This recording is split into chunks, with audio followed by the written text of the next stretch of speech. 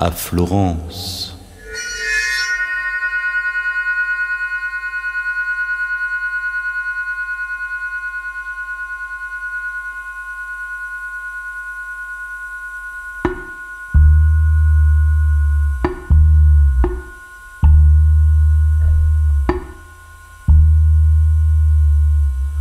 Début avril. La peur de la femme sur la berge balafre le pavé que le fleuve sournois balaie.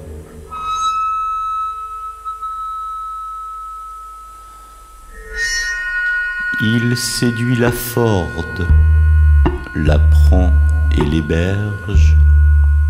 Quant au corps, il en joue comme du petit bois.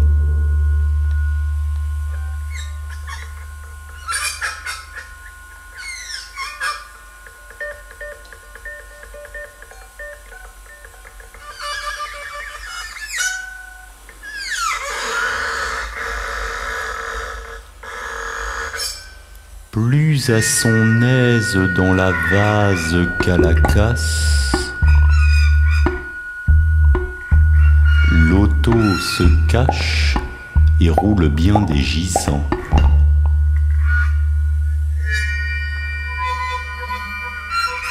Quand un plongeur revient, vainqueur de sa brasse, Six jours sont partis dans les courants épuisants.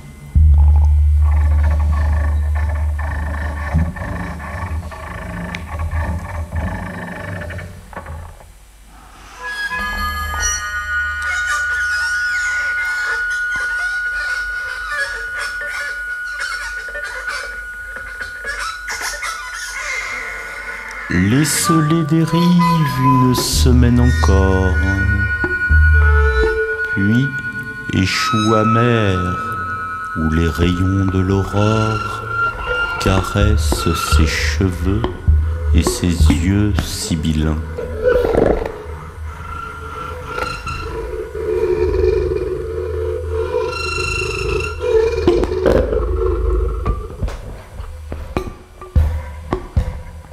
Un pêcheur intrigué se ferait un passage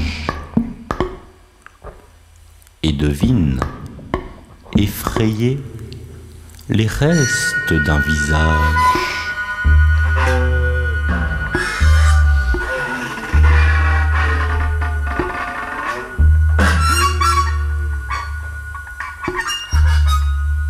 La presse n'a rien dit des deux chiens orphelins.